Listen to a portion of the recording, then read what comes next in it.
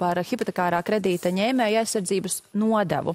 Uh, kuru tad maksātu bankas. Saimā pēc nedēļas plāno par tiem dis diskutēt un arī balsot. Jūsu skatījums, vai šis vieš kādu lielāku skaidrību un arī varbūt drošības sajūta par, ja mēs runājam par tiesāšanās jautājumu?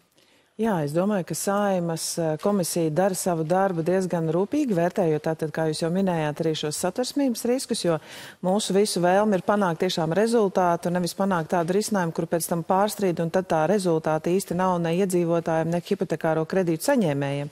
Es domāju, ka nodeva ir eh, valstī vienmēr eh, iespēja uh, Uh, risināt jautājumu, jo nodevs un nodokļi ir valsts tāds nu, instruments, ar ko viņi var arī dažādos veidos uh, dabūt atpakaļ finansējumu, ko viņi vēlas no kāda, uh, kas darbojās mūsu valstī.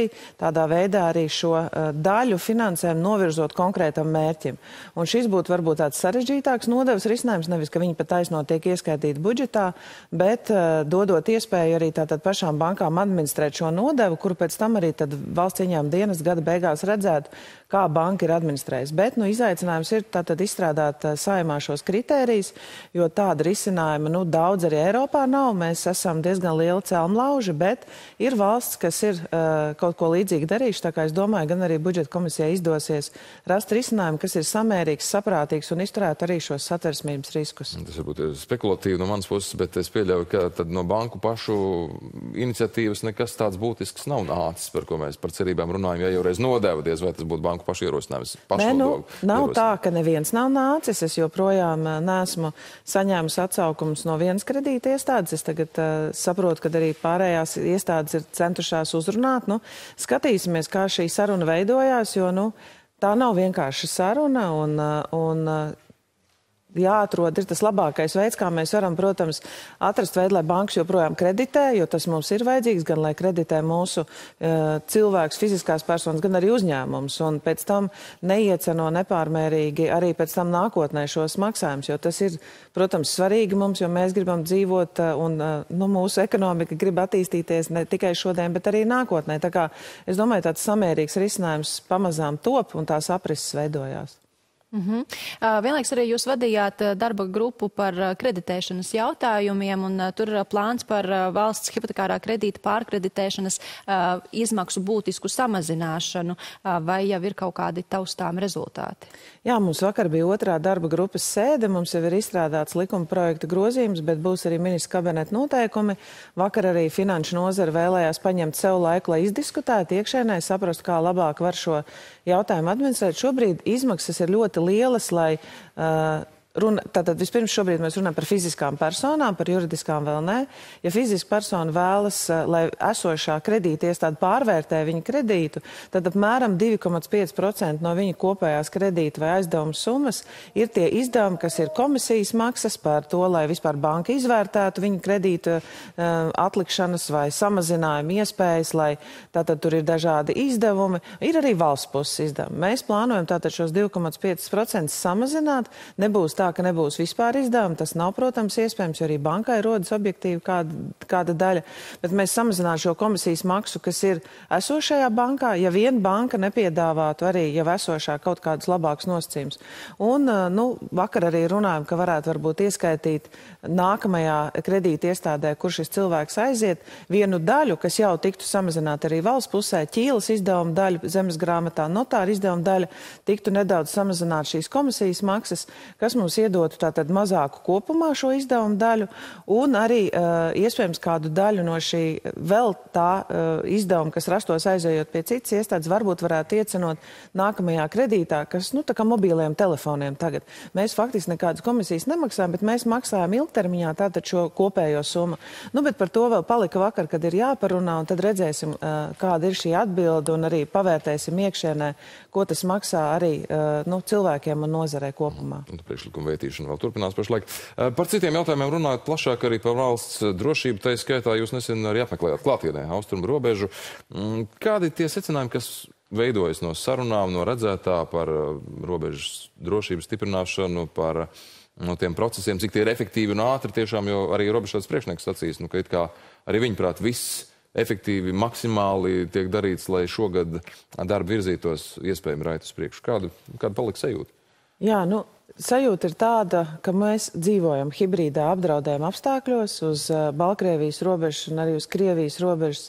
Ir hibrīdais apdraudējums. Tur arī uh, jūsu operatori, kas bija redzēja, ka uh, nu, šīs nelegālo uh, imigrācijas personu grupas uh, ļoti ātri pulcējās diezgan lielā skaitā uz robežas. Manuprāt, arī tika nofilmēti šie cilvēki, kas tur tuvumā robežai tajā brīdī bija. Tas nozīmē, ka robežsargi dara milzīgu darbu kopā ar citiem dienestiem, kas viņiem ļoti palīdz palīdz, un arī ar Lietuvas un Igaunijas kolēģiem, kas arī mums sniedz atbalstu. Bet uh, svarīgi ir tas, ka mēs esam pilnībā pamainījuši tātad to principu, kā robeža tiek būvēta. Pirmkārt, to vairs nedara iekšliet ministrija, tikai to dara uh, valsts nekustamie īpašumi, kas ir lielākie mūsu valstī faktiski vispār infrastruktūras būvētāji ir vislielāko pieredzi. Esam piesaistījuši arī LVRTC centru, kas ir vairāk atbildīgs par digitālajiem risinājumiem, kabeļiem. Viņi ir tie, kas nodrošina mūsu torņus, lai mūsu mobīlie telefoni strādātu un mūsu mobīlais e-paraksts strādātu. Tā kā viņiem ir šī pieredze, es domāju, ka dinamika ir liela un līdz šī gada beigām tātad jau Baltkrievijas sauszemes robežu daļa, tur var redzēt, jau ir viena daļa izbūvēta un tur ir palicis pavisam nedaudz. Grūtības, protams, ir purvos un ezeros, kur pēc izpētes ir skaidrs, ka šie purvi ir daudz dziļāki, kā tas bija domāts. Uh, un tas ir nākamā gada laika jautājums, lai mums pilnībā tātad robeža tiktu izbūvēta, bet arī viedās tehnoloģijas jau paralēli turpinam uzstādīt, kas ir ārkārtīgi būtiskas, lai palīdzētu robežsargiem uh, novērot, kas faktiski notiek šajā diezgan garajā mūsu Krievijas un Baltkrievijas robežas zonā. Mm -hmm. Un arī par robežu šķērsotāju spiedienu turpinot, cik, cik lielā mērā un vai vispār mūs ietekmē arī, nu, ja tā var teikt, jaunais karš tuvajos austrumos? Eh, tuvajos austrumos karš mūs ietekmē vairāk tādā kopējā Eiropas drošības uh, situācijas ziņā. Tātad mums šobrīd ir divi punkti - gan Ukraina, gan tuvajā austrumi, gan situācija Izrēlā. Un, uh, tāpēc arī šodien es došos jau vakar pusē uz Eiropadomu, jo ir ļoti svarīgi, lai Eiropā mūsu kopējā nostāja un viedokļi un izpratne par to, kas notiek šobrīd austrumos, būtu vienota. Jo Ukrainas jautājumā mums izdevās panākt šādu vienotību, kas ļoti palīdzēja, protams, Baltijas valstīm, ka mēs esam Eiropā vienoti. Visi izprot arī mūsu ģeopolitisko situāciju. Tad, protams, mums ir arī šādi jārīkojas attiecībā uz tiem kolēģiem, kuriem iekšējā situācija dēļ šī notikuma arī Izrēlā Eiropā ir satraucoša. Tāpēc mēs noteikti iestāsimies par vienotu, sabalansētu arī šo ziņu, kas tad notiek austrumos. Mēs ieguldam mūsu iekšējā un ārējā drošībā. Mēs esam papildus paredzējuši finansējumu. Tātad vakar arī lēmām par jaunu policijas iecirkņu nomas telpām, kas ir ļoti labs risinājums un arī tādu katastrofu krīžu pārvaldību. Eh, mums ir ļoti svarīgi arī, lai mūsu kopējie NATO spēki, kas ir pastiprinājuši savu uzraudzību mūsu teritoriālajos ūdeņos, turpinātu to darīt. Un līdz ar to es teiktu, ka mums ir tātad šī hibrīdā apdraudējuma situācija klātesoša. Uh, iedzīvotājiem, protams, jārēķinās, ka tādi ēpasti, kas šobrīd virmo pa visu Eiropu, kas bija pirms pāris nedēļām pie mums par skolām, būs un turpinās būt, bet mēs arī kopā ar mūsu valsts policiju un mūsu tiesību sargājušām iestādēm, tāpat arī pārējām institūcijām, jo šobrīd jau ne tikai tiesību sargājušās institūcijas tiek iesaistīts, arī mēdī izstrādāsim noteikti algoritmus, lai visi kopā labāk spētu reaģēt. Uh, uz, nu, tas ir tāds uh, hibrīdā izaicinājuma drauds, lai noslogotu valsts iestādes, administrācijas un varbūt arī novērst fokusu no kāda cita punkta. Tā kā es domāju, ka kopumā man jāsaka, ka mūsu dienesti strādā labi, viņi labi arī sazinājušies bija ar citiem Eiropas kolēģiem, kuriem bija jau devuši informāciju, kas palīdzēja viņiem sagatavoties labāk. Līdz ar to mēs arī ceram uz labu sadarbību no viņiem, ja kaut kas tāds būs pie viņiem pirmo reizi, lai mēs arī labāk varētu sevi sagatavot. Nu, par dienas noslogošanu savukārt runājam, tad diemžēl vairākos uh, dienestos iekšlietu nozarē ir uh, diezgan maz ko slogot, vai precīzāk sakot, ļoti daudz slodzi šiem atsevišķiem uh, sektoriem, kur trūkst, trūkst darbinieku. Ir, diemžēl, arī Ruka kungs no valsts policijas stāstījis, ka atsevišķas pat ir struktūra vienības, kur pusē vai pat vairāk darbinieku nav. Tas nav vispārēja situācija, bet ir atsevišķi iecirkņi, atsevišķi punkti. Kā ir ar budžeta iekšlietu nozarei, lai nebūtu šis darbinieku pamatīgais nekomplekts vai nu, ar tiem 27, ja nemaldos, miljoniem, kas nāk klāt atalgojumam, nu, ir pietiekami, lai to būtisko Uh, iztrūkumu robu risinātu. Jo es saprotu, līdz aizsardzības nozara, līdz NBS uh, atalgojuma sistēmai tur vēl tā nu, pakāpe ir krietni tālāk. Protams, NBS aizsardzības spējas ir stiprinātas jau pāris gadus, nu tā ļoti būtiski, jāsaka, mums arī ir bijusi tiesības iedot atkāpi budžetā attiecībā uz šiem izdevumiem, kādus mums īsti tiesības nav attiecībā uz iekšlietu nozari, jo algas ir tāds ilgtermiņa risinājums, un iekšlietu nozarē, manuprāt, iekšlietu ministri minējis vajadzīgi 200 miljoni. Tātad mums tam ir pamatīgi jāgatavojās, jo šobrīd tātad prioritāte ir arī iekšlietu nozare, kuriem mēs esam paredzējuši papildus finansējumu gan algām, gan ugunsdzēsējiem, gan arī iekšējās drošības akadēmijai, un vajadzība ir daudz. Bet tas, ka cilvēku skaits samazinās kopumā Latvijā un arī nu, mūsu reģionā demogrāfiskā situācija neuzlabojas, tas ir fakts. Un šobrīd, protams, tā konkurence arī ar aizsardzības dienestu, kur varbūt kaut kur pirmajās, pirmajos gados pat darbs ir vienkāršāks nekā iekšlietu nozarē, kur tev uzreiz ir jāstrādā jau ar cilvēkiem un nevienmēr tas darbs ir patīkams. Nu, tas būs izaicinājums. Es domāju, tas ir arī šī budžeta izaicinājums, kur ir tātad iekšlietu nozarē papildus finansējums un arī nākamo budžeta izaicinājums. Bet tāpēc iekšlietu nozara kļūst arvien digitālāka un daudzas lietas tiks digitalizētas, arī ceļu satiksmes novērošana. Un tā kā, nu jā, pie šiem jautājumiem noteikti strādāsim arī turpmāk. Mēs esam paredzējuši arī, ka kopējai ne tikai iekšlietu nozarē, bet iekšlietu drošībai, arī līdzīgi aizsardzībai, mēs pakāpeniski iesim uz šo pieaugumu no iekšējā koprodukta, tātad no IKP 2,5% apmērā. Un, ja mēs pārāk strauji gribam celt vēl šo, protams, to varam darīt, bet tad noteikti ir jārunā par kaut kādu ļoti nepatīkamiem arī citiem iedzīvotājiem uh, izdevumu uh, piesaistīšanas veidu. Un es nezinu, vai šobrīd sabiedrība tam pie šīs lielās inflācijas ir gatava. Tā kā mēs to darām, bet skatāmies arī ar kopējo situāciju valstī. Mm -hmm. Vēl jūs esat uzdevusi arī pārbaudīt un vērtīt valsts kritiskās infrastruktūras gatavību iespējamiem riskiem, kā sokas ar šo, vai ir kāds rezultāts jau zināms, taustāms, ar ko varat padalīties? Jā, mūsu kritisko infrastruktūru faktiski jau NBS novēro no pagājušā gada jūrā.